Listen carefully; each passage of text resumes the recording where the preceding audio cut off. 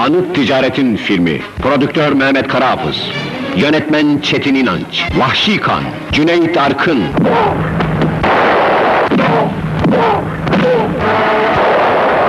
Nedir bu olanlar? Bir savaş.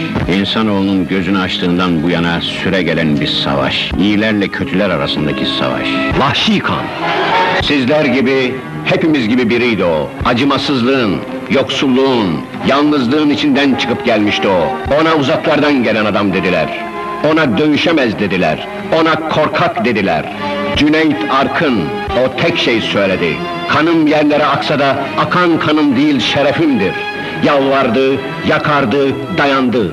Benim kanımı alın, şerefimi almayın dedi. Bu sefer başka. İnsan avı. Yüreğini isterim. İnsan avı. Acımasız, kanlı, ölümüne. Vahşi kan, vahşi kan, kan, kan, kan.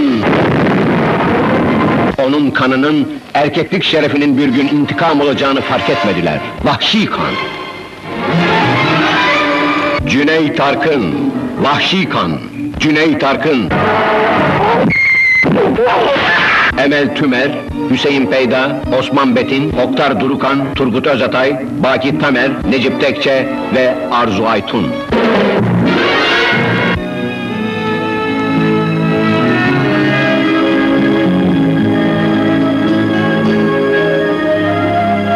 Sen bir hayvansın. Beni sen hayvanlaştırdın. Tıpkı oğullarına yaptığın gibi. Bu bir savaştı. Erkek gibi dövüşeceğiz. Kan akacak. Vahşi kan akacak. Kan akacak. Kan, kan. Vahşi kan. O bir destandı. O bir savaştı.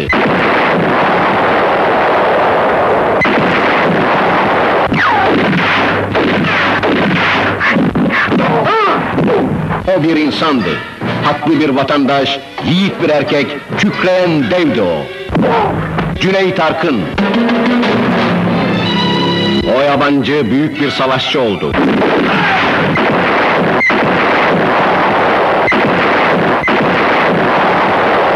Şerefini kan akıtarak, can alarak kurtardı.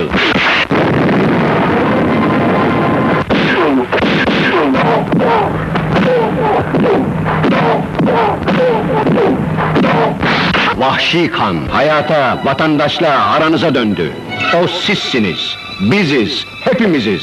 İnsanlar ölebilir ama hakları ölmez dedi. Cüneyt Arkın, Vahşi kan, sinemamızda.